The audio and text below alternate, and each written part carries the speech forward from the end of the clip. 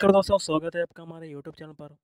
MP police exam आपके conduct कराए जा रहे हैं, उसी पेपर के आधार पर आपको इस वीडियो में एक्सपेक्टेड कट ऑफ़ बताऊँगा कि आपका इतना कट ऑफ़ रह सकता है।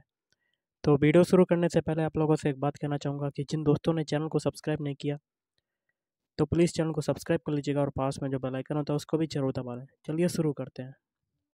देखिए गैस अभी तक के जितने भी एग्ज़ाम जितने भी शिफ्टों के एग्ज़ाम हुए हैं उसी के आधार पर आपको एक्सपेक्टेड कटअप बताऊँगा कि किस कैटेगरी का क्या कितना कटअप जा सकता है। ये आपका फाइनल कटअप नहीं है, ये आपका एक्सपेक्टेड कटअप है। आपका इतने ही में, इतने बीच में ही रह सकता है आपका।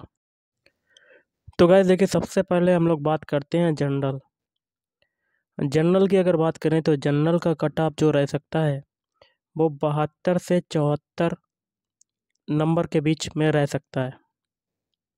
ओके तो बहत्तर से चौहत्तर मार्क्स के बीच आपका ये कट ऑफ़ रह सकता है। और ओबीसी की अगर बात करते हैं तो ओबीसी का अगर कट ऑफ़ की बात करें तो ये आपका सत्तर से बहत्तर के बीच आपका ये हो सकता है। और एससी की अगर बात करें कैटेगरी की तो ये आपका पैंसठ से छाछठ के बीच आपका कट ऑफ़ जा सकता है। ओके।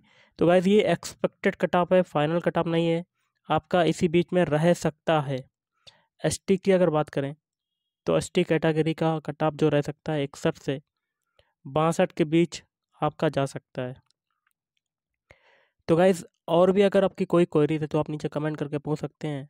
आज के इस वीडियो में इतना ही। Thank you